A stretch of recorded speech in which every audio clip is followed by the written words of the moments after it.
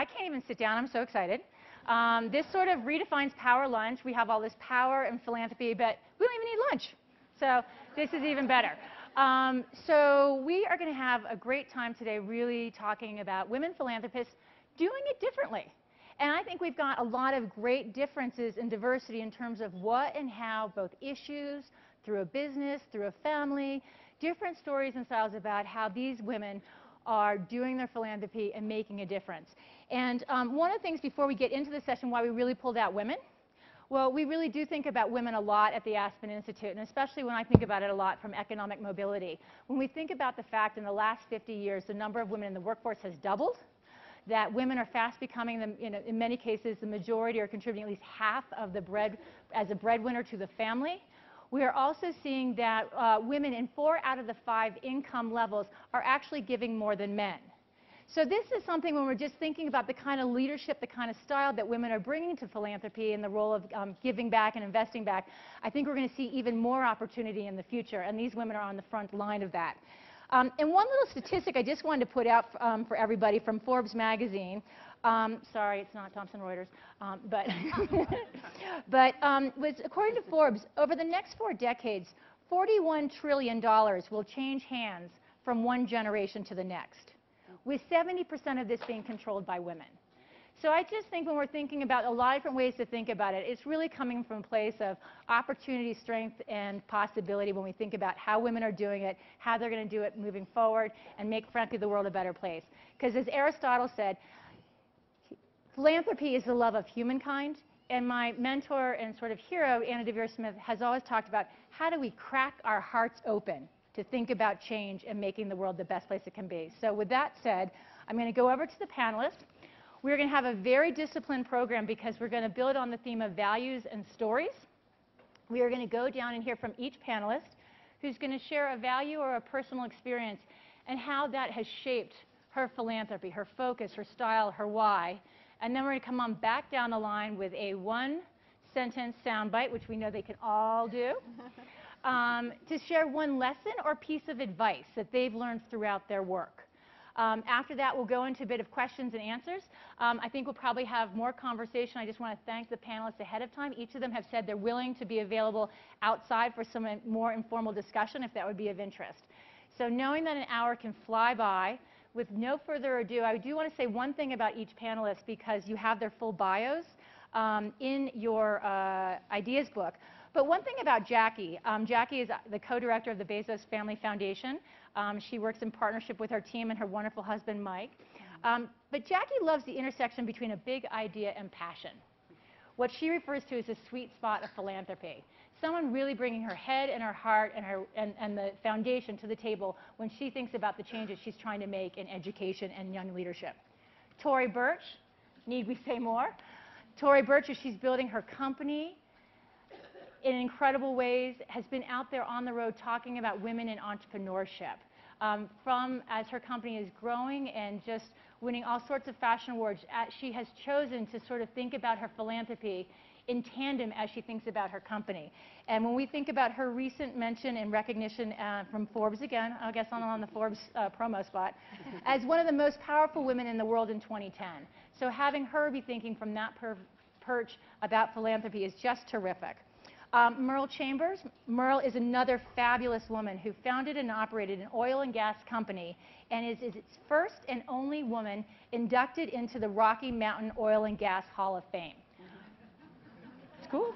That's cool. Uh, Merle is uh, the founder of the Chambers Family Fund, and you'll hear a lot about her great work. Ann Friedman, Ann Friedman, who is another trustee of the Aspen Institute. She is uh, an educator and is uh, deeply, deeply passionate about literacy. Uh, she is, uh, has served on many boards, of which she has been quite deliberate about each, ranging from Conservation International to her current role as chair of the Seed Foundation Board, and is a wonderful leader both for the Aspen Institute and for Ascend. Um, Lori Tisch, founder and president of the Illumination Fund. Um, Lori has uh, a foundation has a long-standing commitment to enable more New Yorkers to take advantage of the rich opportunities that the city has to offer. She is, I've had a chance to sort of see her at action on the national service front, but she's doing stuff on the street corners to the art galleries of New York City in many different ways, improving lives.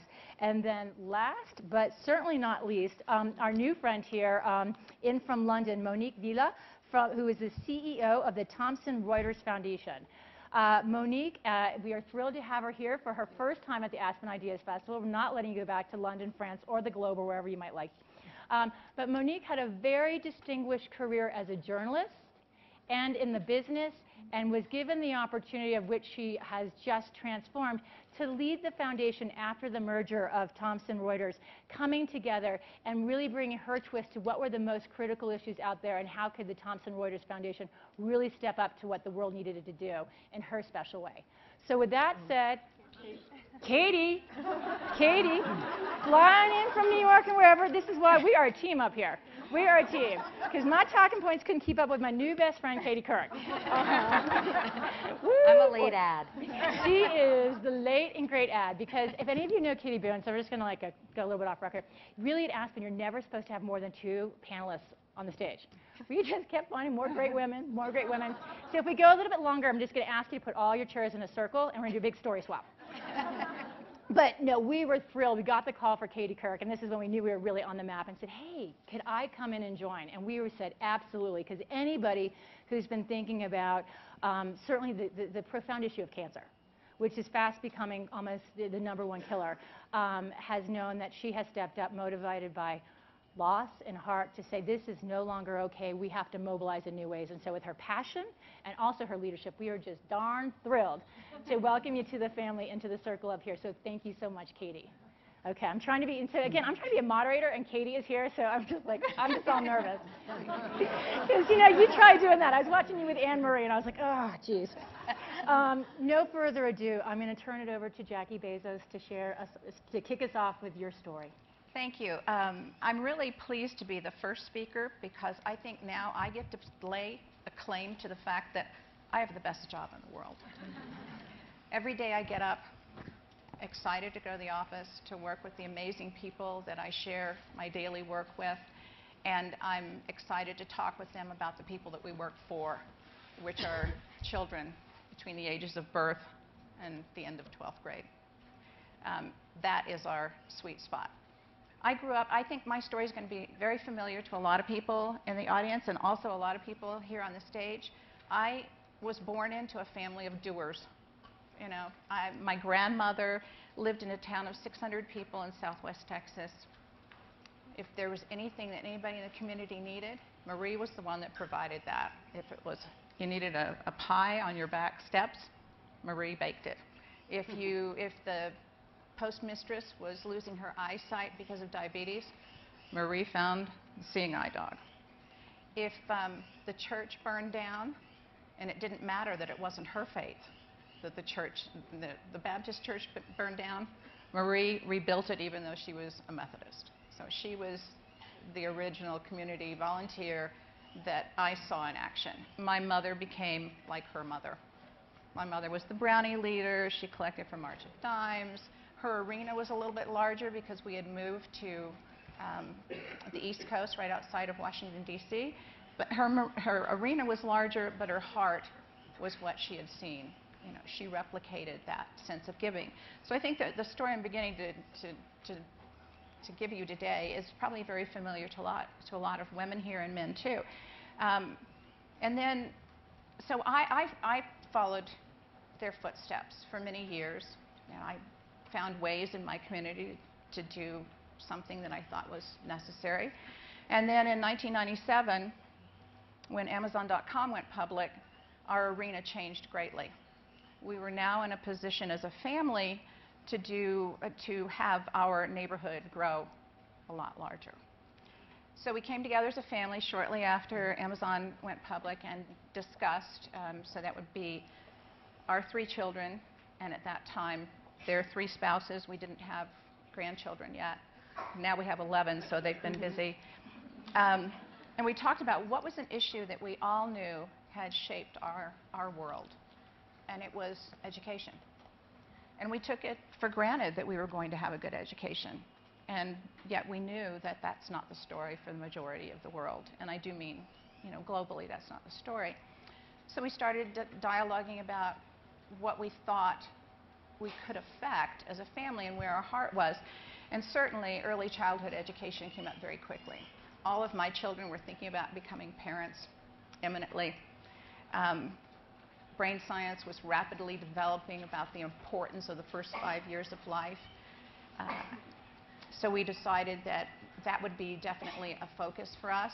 And when we found out from the Institute of Learning and Brain Sciences that 700 synapses form per second between the ages of zero and five, we thought, okay, that's kind of like internet.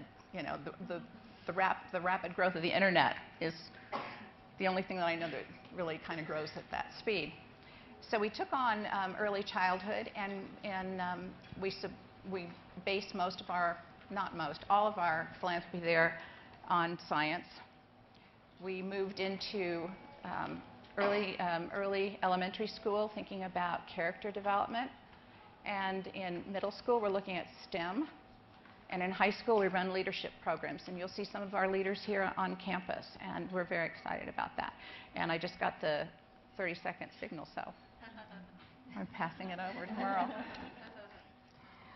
Um, when I was eight or nine years old, I opened a magazine that I can't imagine why my parents left available to me. And I saw a photo essay on lynching. And I knew, without reading the text, those images of those young men hanging from those trees was wrong. And I knew that justice and fairness were important to me. And that has really informed all of the work that I have done ever since. Now, I have to tell you, I remember as a teenager arguing with my father, who told me there is no perfect justice in this world, Merle. And I, of course, would fight with him.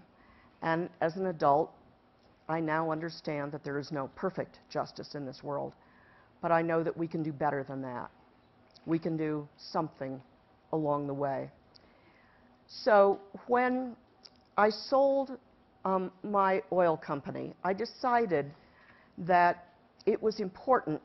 Um, in the West, um, many fortunes have been made out of the minerals, but those fortunes leave the states. And I decided it was a fair thing to do to bring something back to those states. So I started women's foundations in Wyoming, Montana, and Oklahoma. And having been in business, I wanted to get as much bang for my buck as I possibly could. So I made challenge grants of $500,000 apiece in those states. And what I got from that, of course, was that each of those states met those challenge grants. But in doing that, the donors were mostly women.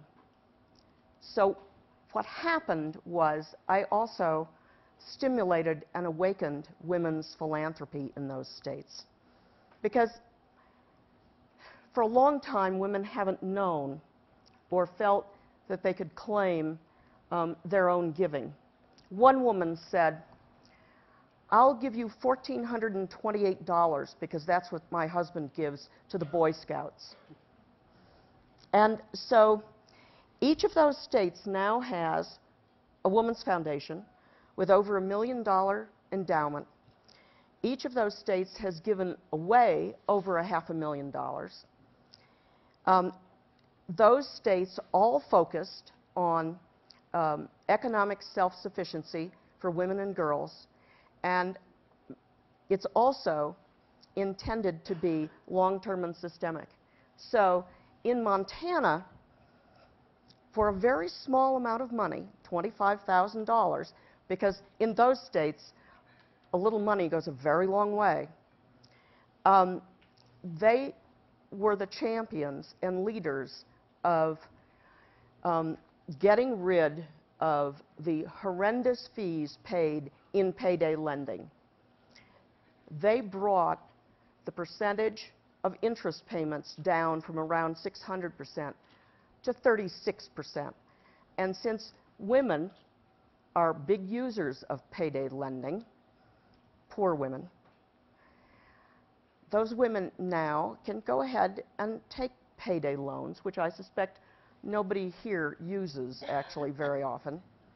And um, that gives them more money, helping them with their economic self-sufficiency. It gives them more money for their kids. And that is just one of the things that I do. And I can still see those young men hanging from those trees. Thank you, Mom. Sorry. Um, no, so ever since I was little, giving back is something that I was incredibly interested in. It was something my parents did a lot of. I was around them, but I really thought that uh, when I went on a program in college called Semester at Sea, I went to many developing countries, and I had never seen the poverty that I saw. And from that point on, I knew that at some point in my life, I wanted to start a foundation. Uh, fast forward, I went, I went to Penn and I graduated, and a week later, I started working in the fashion industry. And uh, for about 15 years or so, it was more on the business end, marketing, PR, and advertising. And um, then had three little boys and realized that I couldn't do both well. So I took time off, knowing that I wanted to start a business and knowing that I wanted to start a foundation. So um, about four years later, um, I decided to come up with a business plan that was talking about what I thought was a white space in the market, and it was this idea of accessible luxury. It was beautifully made clothing that didn't cost a fortune, but then it had a level of social responsibility. And the company would think about how we could best be used as a platform to give back. I went to raise money, and most of the men that I spoke with said that I should absolutely never say social responsibility and business in the same sentence. And so I thought that was really interesting and something that I personally wanted to change. So we um, started the company eight years ago, and we always have thought about uh, social responsibility and how we can partner with different organizations, how we can give back. If when Japan had the tsunami, how we can raise money with a T-shirt and sell, and then give a certain amount to the Japanese Red Cross. But then, what was my the love of what I was really trying to do from day one was to start a foundation. So two years ago, we did start a foundation. It empowers women through microfinance and mentorship domestically. Because when I started to learn about what women's needs were, were is that it was more difficult for a woman to get a loan in the United States than it was in a developing country. And I thought that was really hard to believe. So I did a lot of research. I thought that women are our best investment. Um, I could best contribute by what I personally knew, and that was a startup. And that was somewhat ironic because I started the company so that I would be able to start a foundation, and then in the end, the, the focus of the foundation was what I learned starting the company. So um, it really is about empowering women. It's about setting them up with microloans, but mentorship is such an enormous part of that as well. And we have mentorship programs. Uh, the idea of peer-to-peer mentorship is something we're really starting to focus on and see how women can start helping themselves. I was uh, recently, about three months ago, uh, introduced as a woman CEO. And I got up and I started laughing and I said, you know, I've never heard of a man introduced as a man CEO. and that, it's something um, that I was really surprised at. And when I meet with all these women entrepreneurs, number one, they're so inspirational. They humble me and they are incredibly bright. They have incredible business plans. But the one thing that I think they need work on is believing in themselves and knowing their self-worth and understanding that it's okay to be ambitious. We often talk about how ambition is not a four-letter word.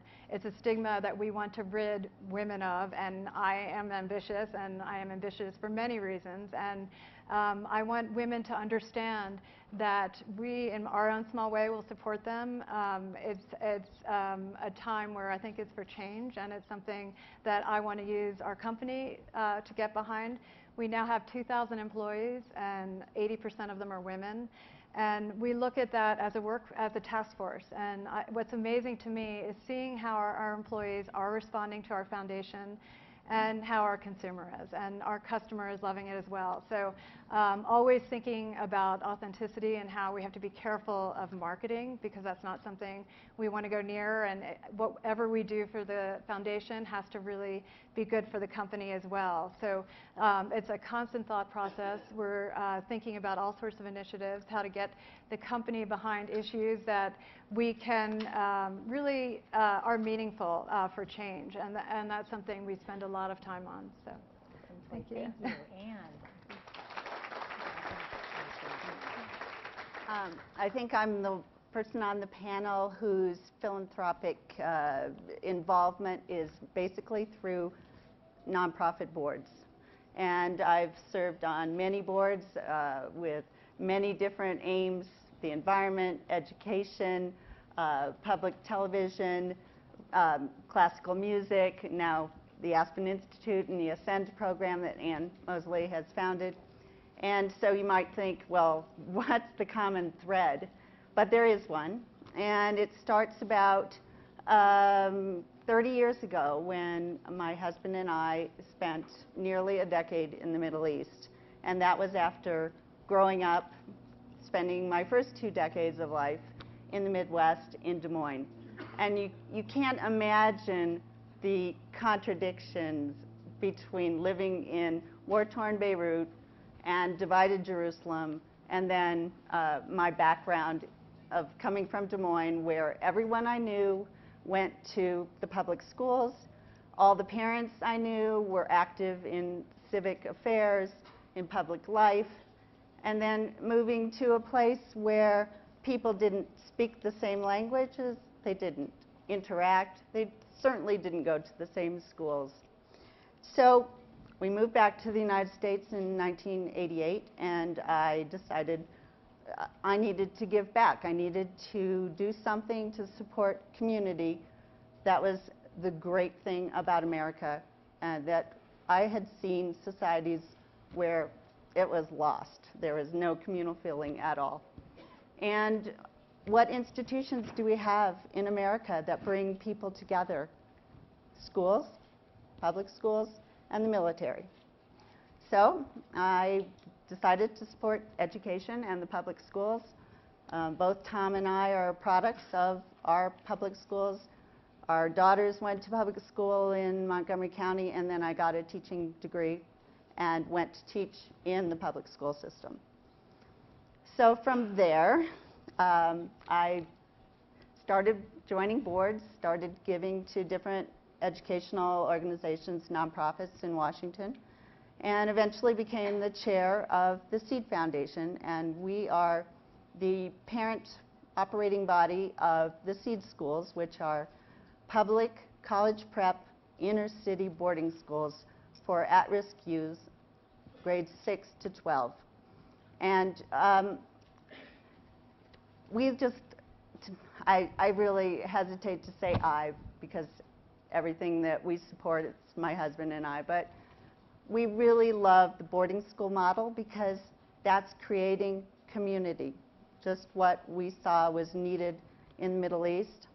Uh, these schools provide nutrition, they provide a safe environment, they provide adult nurturing, uh, tutoring, homework help, all the things that more affluent students take for granted that come at home. And um, in addition, I've been very active with conservation in, and have served on the Board of Conservation International.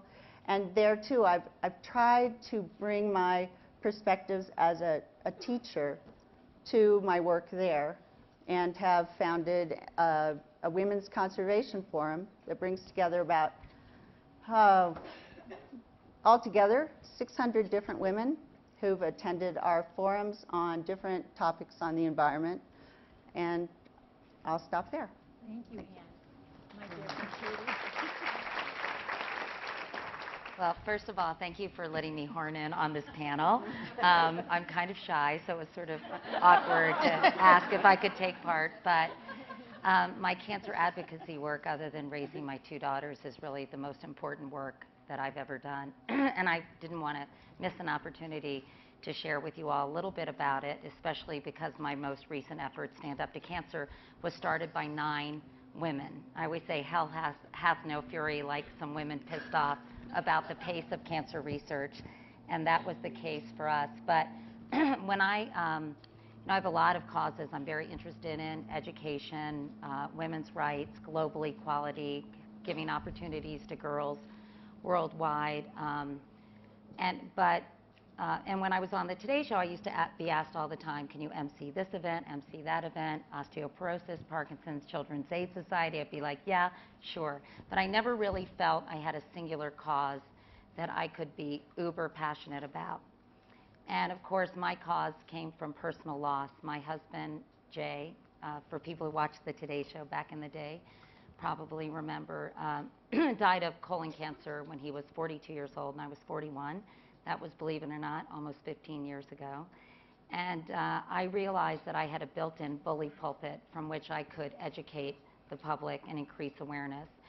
And from that, from my on-air colonoscopy, which I'm sure you all really enjoyed, maybe remember, um, I decided I wanted to start money, raising money for research for colon cancer because at the time it was one of those cancers, like breast cancer was several decades ago, that people just didn't talk about, despite the fact it's the number two killer of men and women in this country.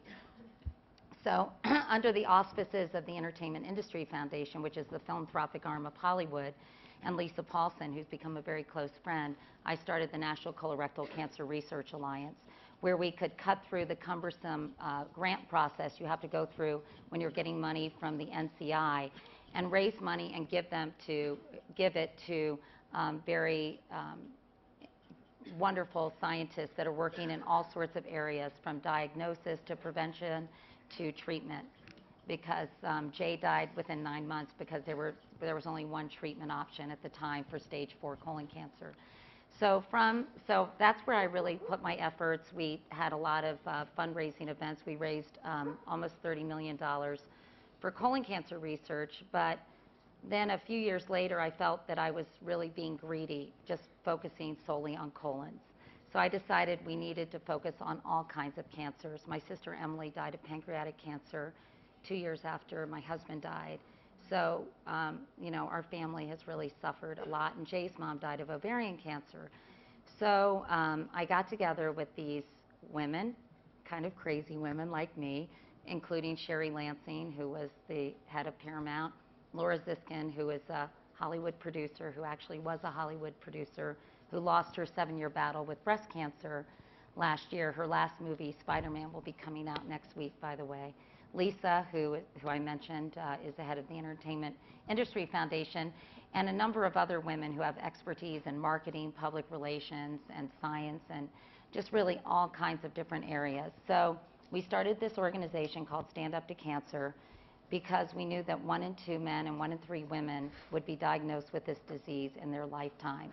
And we weren't, we weren't content with the pace of scientific research or progress that was being made. So we ha- we've had, we'll have our third fundraiser, which is televised, sort of a, a strip show, not that kind of strip show, across all the networks and all the cable properties where we've raised um, so far $180 million. But what we have done is change the paradigm in the way cancer research is done. Basically, we have dream teams of scientists from various um, academic institutions, from Harvard, MD Anderson, Hutch, the, you know, all different uh, uh, centers all across the country, and some biotech firms, where they pool their um, experience and wisdom and resources and we decided if two heads are better than one, when it comes to cancer research, 10 heads are better than two. So the mandate is, in order to get a grant from us, they have to collaborate. Teamwork has to be exercised, and that really is our mantra and the value that we try to espouse in Stand Up to Cancer. And so as a result, we have a pancreatic cancer dream team, an epigenetics dream team, a women's cancer dream team, and together they are making incredible progress. It is really exciting to see the science that is being done. And so um, we hope that this will eventually lead to, if, ne- if not treating cancers, various cancers as chronic diseases, to actually coming up with some pretty exciting cures and treatments that will keep people alive and allow them to live longer and healthier lives. So.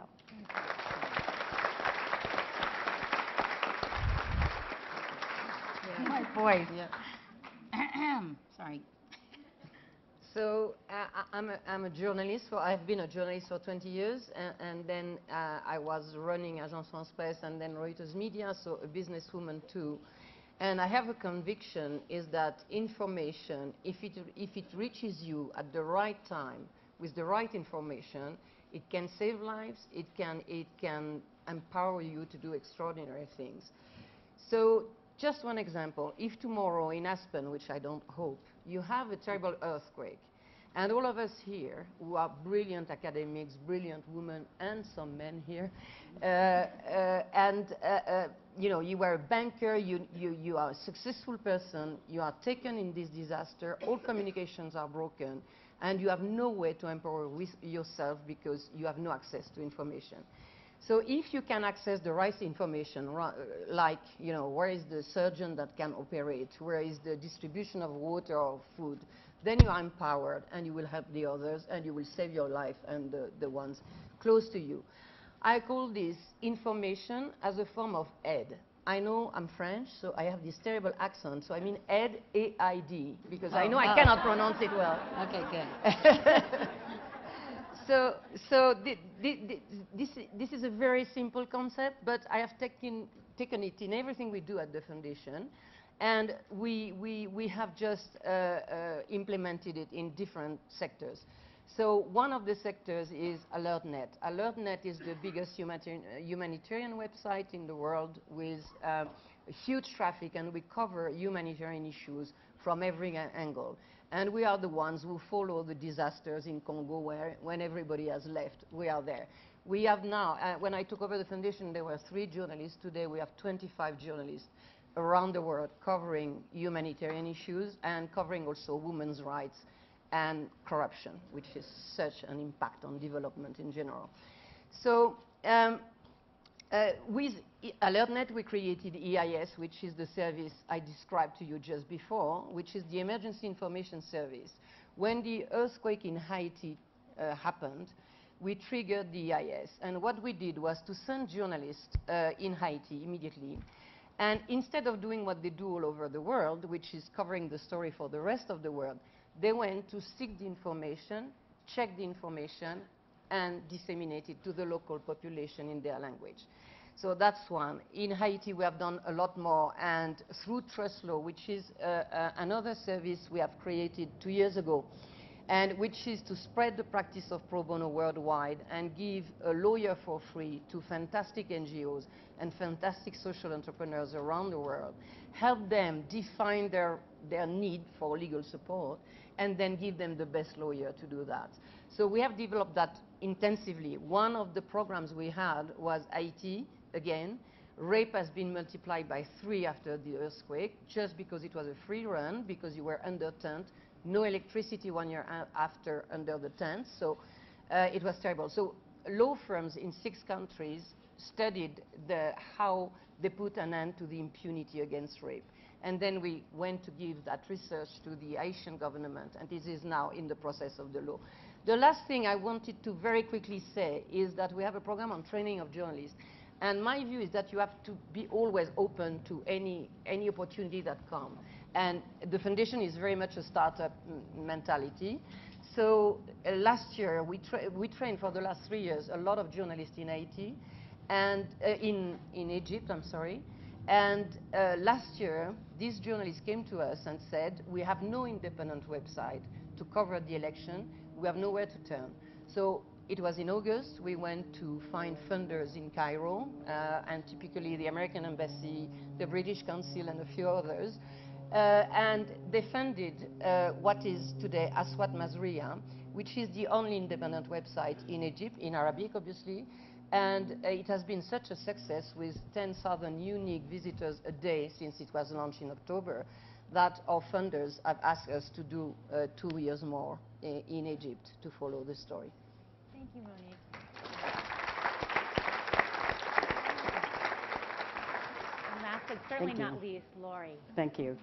Um, so first of all, my friends in the room know that it's hard for me to talk about anything for five minutes. Um, so I have materials in the back of the room um, that will go in a little bit more deeply into the things that I want to talk about.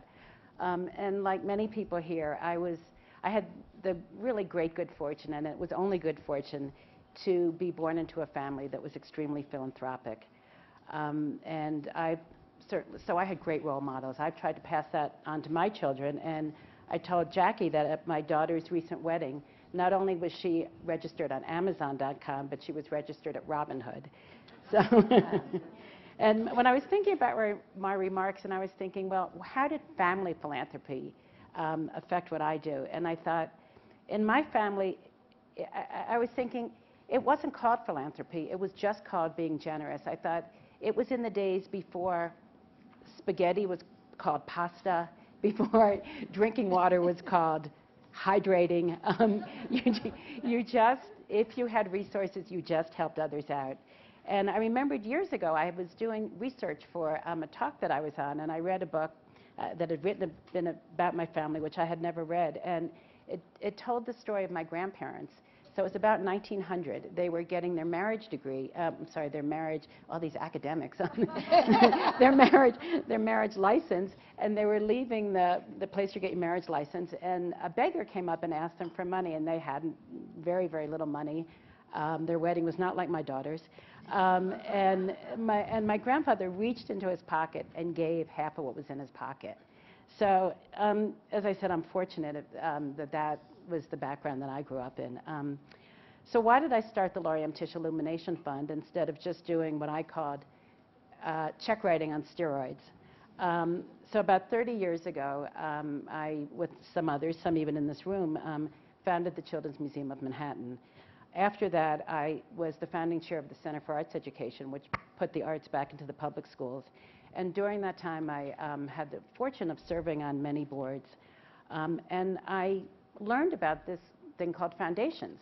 And I had always thought, you know, that foundations were these great big things like Carnegie, Ford, Rockefeller, Bezos. Um, but through my work at, in these not-for-profit boards, I realized that, you know, you could also have a much smaller foundation and be effective.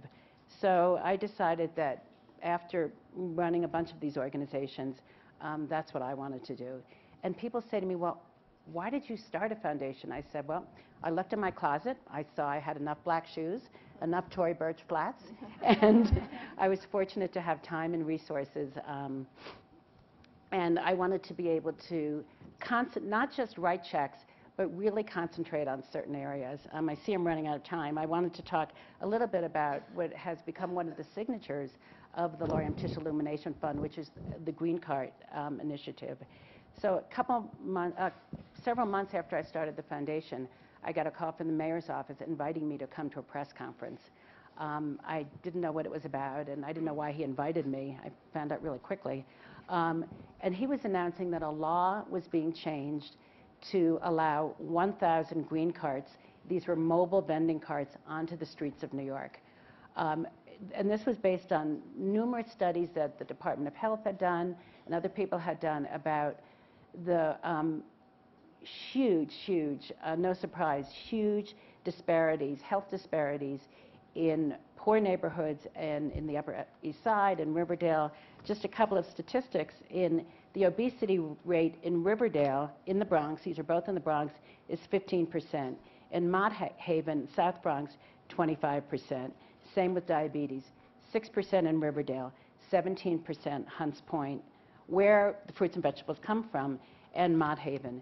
So the mayor wanted to do this initiative to put a thousand fruit mobile vending carts onto the streets where um, in low-income neighborhoods where there in areas called food deserts where there was very very little access to healthy food.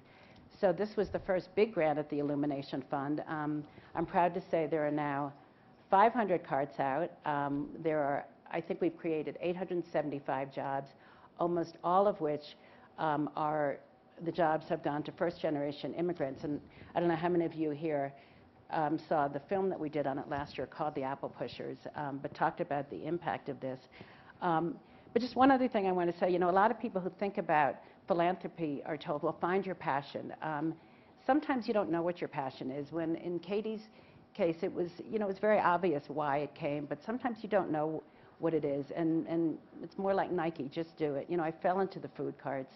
Because of that, we've devoted, um, we've just announced that we'll be devoting about three to four million dollars, about a third of the foundation's um, um, proceeds to lots of different areas, having health areas having to do with food access, having to do with diet-related diseases, having to do with um, food banks, Share Our Strength, Revolution Foods, et cetera. Um, so it's only a couple of years later, three years later, but it's become a great passion of mine. So I guess my advice, that nobody asked for, but my advice is, um, you know, sometimes you don't know what your passion is.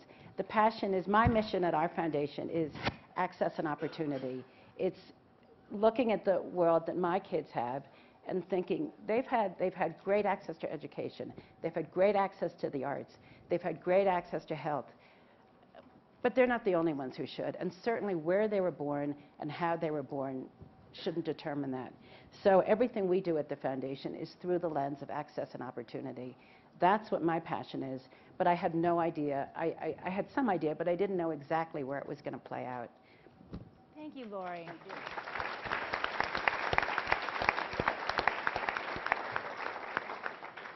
Um, well, I'm going to give each of the panelists a moment to sort of think about before we move into conversation. What's the one sort of lesson learned, aha, or, or sort of um, short piece of advice they would have um, for the audience? And I'm sort of curious, how many of you in the audience would call yourself a philanthropist? Raise your hand.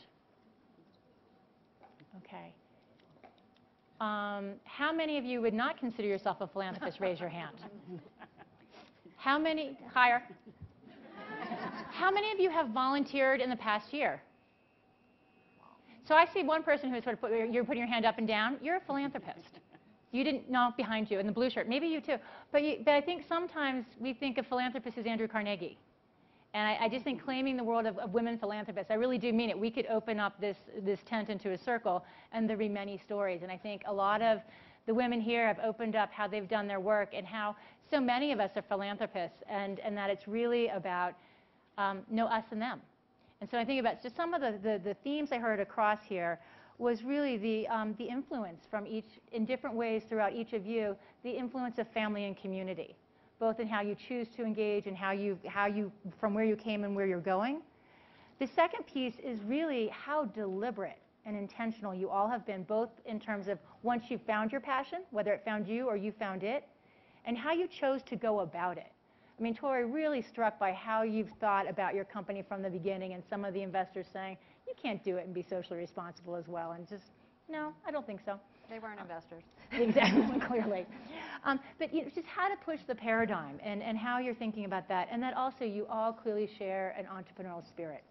That going after where you can make a difference, entering a new market, a new issue, but really being dogged about not sort of saying we're going to do it the same old way. So with that stated, I'm going to just sort of sort of round together. Laurie, we're going to kick off with you because you get to get one more piece of advice. But Okay. we're going to practice soundbite land, so make me look good like I would if I were Katie Okay. um, and being a moderator Um. So I guess, uh, since I do a a lot of public-private partnerships, uh, um, Green Cart being the biggest right now, um, the lesson that I learned is about patience um, and about agreed-upon measures of success. Um, And just one very quick anecdote. I remember about a year into this, and we were, were trying to put together a communications plan. And we had around the table lots of people. We had people from the city and, and people who were working on this initiative. And it occurred to me that everybody had a different, um, they had a different interpretation of success. The, the kind of facilitators who were helping were saying vendors vending successfully. Somebody from the city said, well, we have 250 carts out there. I think that's successful. And I thought, well, it is successful, except that you had come to me for a grant for a thousand.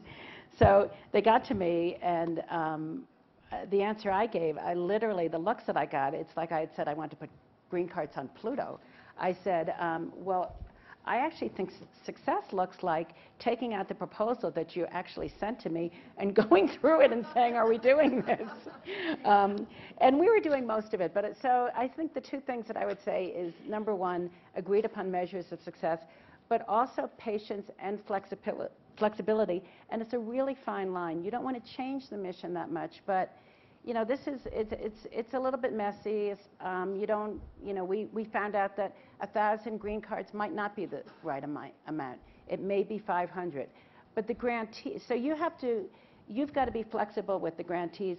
They also have to be honest with you and say, you know what, we, we, this is new, it's entrepreneurial, we thought about it, we've rethought it, and maybe there's another way to do it. Wonderful. Realistic partnerships based with mutual respect. I don't have a lot of patience. Don't work with, the don't work with the government. Indeed.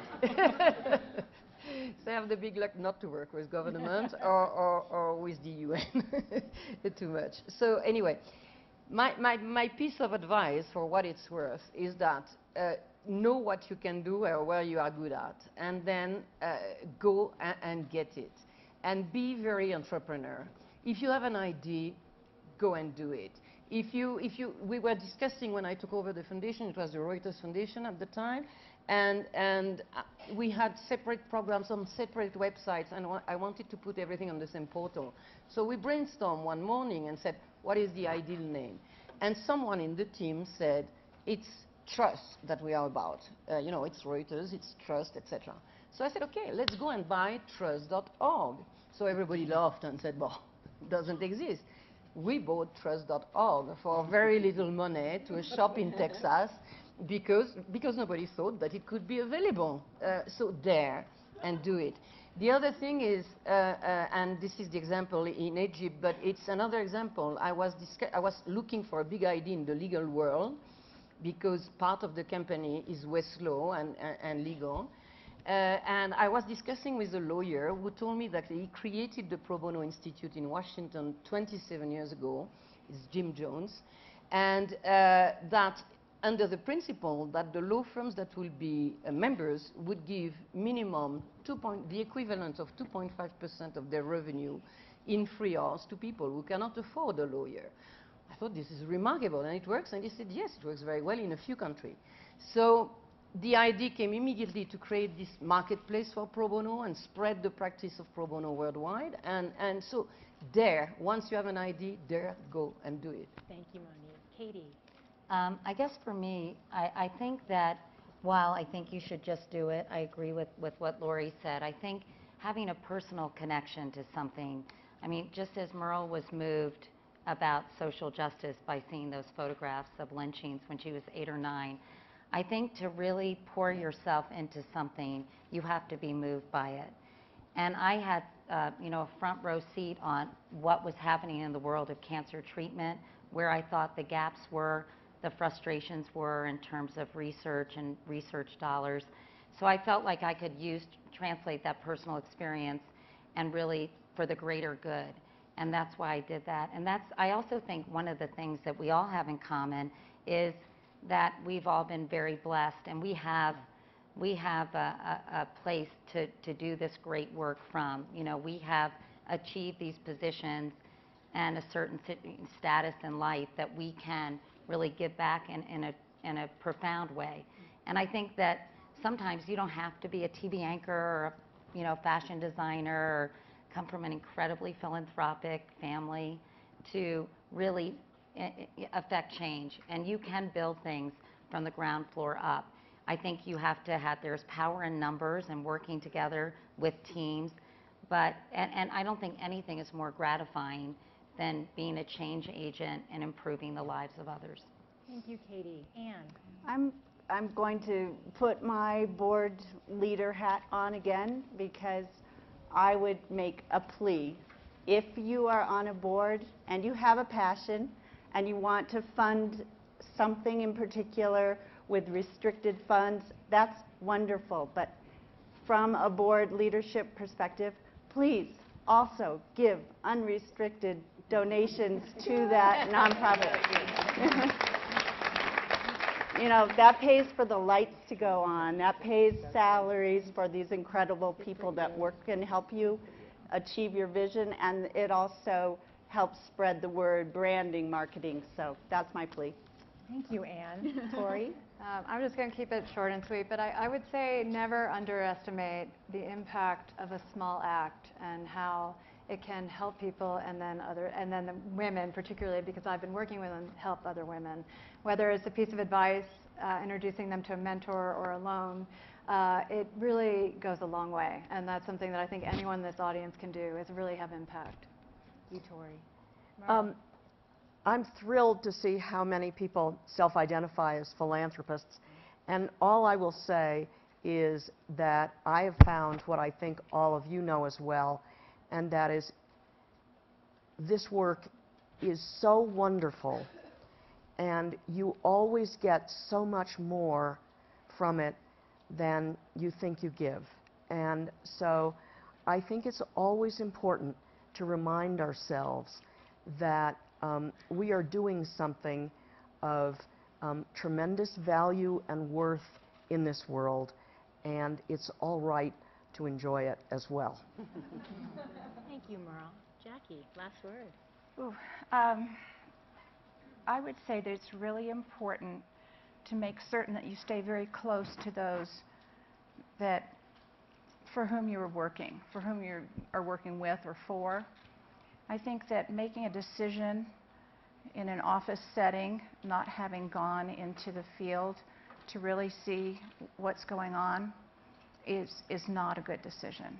So those of you that, that are already doing that and all the hands that were raised, that really, I, what I was actually originally going to say was y- everybody here has something to give, so they should do it now, and it looks like everybody is doing it now.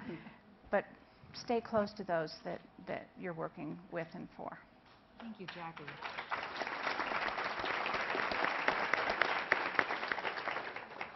Um, excellent job. I have to say, I think if we, um, just first of all, a great panel, so let's give a hand to these incredible women.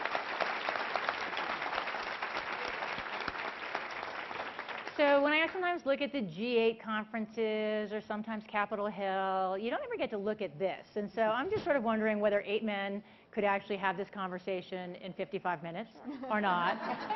Let alone we could create some jobs, change a few things. So I just, um, excellent job. And we have time for, um, with our room full of uh, philanthropists, to have questions and get some conversation going. Because I think what I'm going to try to do is I'm going to give, who has the mic? And I hope you're not just one person. Oh, you are one and you are strong. Um, I was going to think if maybe you can get a couple questions over here, maybe just try to get a few, and then we'll have um, the panelists try to respond to those because we can get a couple out there, and then we'll move across the room to the best of our ability in 10 minutes. Um, so hands, wherever you see, maybe up here, got some folks. But we'll take a couple questions at a time if that's okay. So keep them short because so everybody would be great and introduce yourself.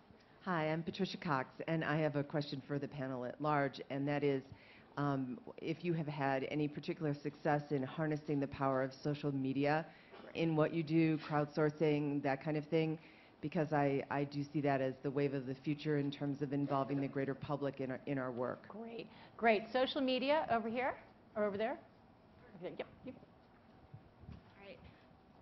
Hello, is it on? Okay. I'm Valerie Quirk, and I'm actually Bezos Scholar. And um, for young women like myself, um, you're all the women that we dream to be and really invigorate us to move forward. But how do we get there? You know, what is, what is our starting point so that one day we can maybe sit in your shoes and move the world in our own ways? Um, how do we get to that point? Great. Um, and a couple back there, and then we'll start seeing. Oh, sorry. I never get the mic. uh, my name is Lauren Redding. I'm a senior journalism major at the University of Maryland, and I'm one of the scholars. Uh, this isn't really a question related to philanthropy, but you're such an incredible group of women. I thought I'd throw it out there. Um, I was just wondering what you all think the chances are of having a woman elected president in your lifetime or in my lifetime. I'm only 20, but uh, I'm pretty cynical about the fact or the chance that that'll ever happen. So, what do you think it will, will need to happen for that to happen? Great. Pipeline, White House, social media. One more, and then we're going to go down the panel. I need, I, I, okay, so I'm going to be really quick. Stand up and just speak loudly. Speak loud. I'm totally breaking the rules. Open Women's Sports Foundation. Thank you. Katie Louder. Whole room.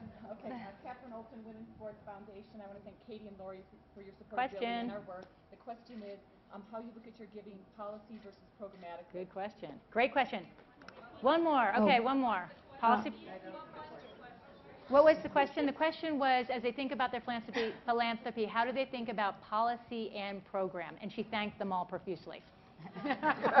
Great. One back there? Do I have to stand? Yes, please. Okay. You don't have to sing, though. No, good. Good, good, good, good. Thank you, Barbara. Uh, My passion is about injustice and inequality, whether it's gay rights, civil rights, or gender discrimination. And um, I have been trying to raise funds and awareness about women's heart disease, which is, as a matter of fact, the number one killer in the world today. Um, for women and, by the way, men as well. And we're having a very hard time raising funds for research. Um, even though, let's say, it's not a contest of diseases, you know, Yeah. breast cancer is horrible. But uh, last year, let's say 39,500 women died of breast cancer, but nearly 500,000 women died of heart disease. And as Dr. Merz says, who heads my Women's Heart Center at Cedar Sinai in Los Angeles, she made us, when she was discussing something at a recent um, event, she said, look to your right and to your left. One out of two of you will have some sort of cardiovascular problem in your lifetime. And I was wondering what you think about why, when I was trying to raise money for this event, um, which matched what I gave, which was $10 million. I started by calling women philanthropists, and very wealthy women on the Forbes list, let's say. And I didn't raise a penny from a woman. All the money I raised, I was able to raise $12.5 million. But 10 of that million actually just came from men. Well, actually, the 12 and a half, I mean, came from men. Um, why do you think that is? Why is, uh, if you have a distinct passion, as you say, for your green carts or for this or that, why is it not possible to also be aware of this um, terrible position that women are in terms of the susceptibility to heart disease? Thank you. Why Thank do you you. think? Thank you, thank you. Um, we have, um, we're going to be closing out in a moment, so I want to give the panelists a moment to think about the themes of how does gender discriminate, how does a gender lens on different issues, health and other, what are some of the challenges and tensions there when you're really trying to bring women philanthropists to the table, specifically to the point Barbara just made? What are we thinking about? How are you thinking about leadership from sort of mentoring on up to the White House? How are you thinking about social media? And how do you sort of think about when you're making investments from policy, program, advocacy? And so what we're going to do um, in real soundbite um, is uh, I want to give each of you a chance to respond to what's the one that really speaks to you. Um, and so we'll close out with that being your final word. One thing I do want to say is um, the panelists have all said they have a little bit of time to stay and dialogue more informally for deeper. I have the wonderful job of being the moderator trying to move us along, so forgive me for that. Um, just trying to keep us on schedule. So um, I am going to start with Laurie because she volunteered. So role model I'm for going to me. talk about, I'm going to address social media. Fantastic, and a Um, nice soundbite. And I think that, Perfect. um, so we have, a, I, I think we have a very, very good website. Um, but I have, not but, I have a young person in our office who wants us to be doing much more. She wants us to tweet and Hulu and whatever those things are called. Um, I, I can't do it because I don't know what they are, but, but I said we have to be careful. So the way, so one of the good, so we use the website not just to show our grants and what we do, et cetera, but we showcase the work of all of, all of our grantees. Um, on the other hand, because we don't accept proposals, we have to be careful about you know, what we do put out there. Um, but, but one great example, there's a very small organization. It was actually started by um, one of our partners at Montefiore, a doctor at Montefiore, and it's called Loca- Locarda, I think. And what they do is they, he actually developed, and we fund them, he actually developed this, um, some kind of website where, or an app, a website where the, the people who want to buy fruits and vegetables um, can somehow be in touch with the, um, I don't know if they're in touch with the vendors directly, but through this website, they can see, because it's hard to know where they are. They could be on 197th Street, they could be somewhere in the South Bronx. So that's how we're using social media, not so, you know, really more to showcase the work of our grantees. Great. Very Um, quickly on And social quickly, and then quickly on social media, I'm maybe leadership. On, on social media, very quickly, it revolutionized completely communications. Everything goes through social media today. So if you have something really impactful to say, do tweet it, etc. Just one example. Two weeks ago, we published a poll on the ranking of the G20 countries on how is it to be a woman in these countries. And the best one was Canada, and interestingly, uh, United States was only number six. Uh, and the worst one was India, even worse than Saudi Arabia. And we speak of the G20 countries, so not the Scandinavian, etc. And uh, Nick Kristof tweeted immediately this result, finishing by a question. And his question was, do you agree? It went ballistic. He has 1,200,000 followers. It went crazy. And in India, one of his followers is a managing director of a very big corporation in India. He retweeted it from Nick, saying, this is worse than an S&P downgrade for India. And it went like this. So the impact of social media is considerable. It drives people to your website. It drives, it, it drives the conversation. So use it as much as you can for, for the good. Thank you, Monique. Jackie. Uh, social media, we use it um, mostly with our, our high schoolers. We started a program called Students Rebuild, which is to gather youth worldwide around issues. And um, we challenge them through social media um, to, to do acts of kindness for uh, their peers worldwide. And after the tsunami in Japan, we put out a call for 100,000 paper cranes, and we got 2 million. So, and we monetized all 2 million of them. So the power of social media is, is strong, and uh, particularly with young people.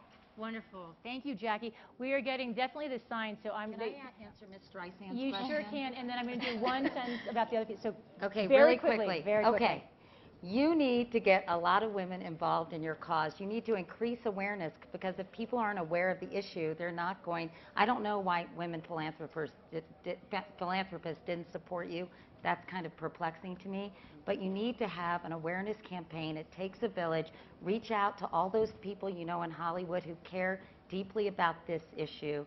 And most importantly, come on my new talk show this fall. Well, no, we'll spend an hour. We'll spend an hour talking about women and heart disease. Awesome. and are you good? Are you good? Tory, do you want to say something? Okay. All right, then we give you the last word. Um, okay, and excellent. On, on the last word, because I cannot let us leave without just a last word on leadership, so Merle Chambers is going to wrap us up. Okay, here is my view of when we will see the first woman president. I have always thought this is a Nixon to China moment. I think the first woman president we will see will be a Republican because that will be less frightening to our country than a Democratic woman president. And let me tell you, I speak as a passionate Democrat. Uh, okay. Um, as the Aspen Institute nonpartisan thing, we thank all of our panelists. Merci beaucoup. Thank you.